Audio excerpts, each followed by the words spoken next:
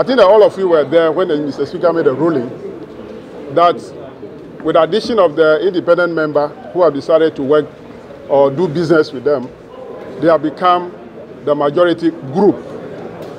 Now, the group is something new to all of us. So, the leader of the NDC, Honorable Haruna Iddrisu, demanded from the Speaker to explain what he meant by the majority group. And I'm happy that you were all there when he did explain that NPP as individual, as a one party, cannot make a group, but with addition of another person, which is an individual, it has become a group. He went on to say that we still have no majority in parliament.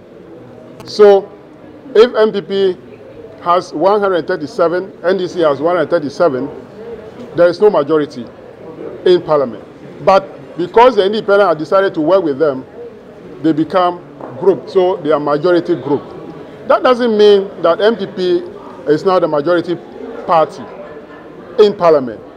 If they said they claim they are majority party, which number have they added?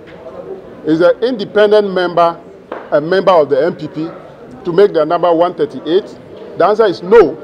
They still have 137 and NDC 137.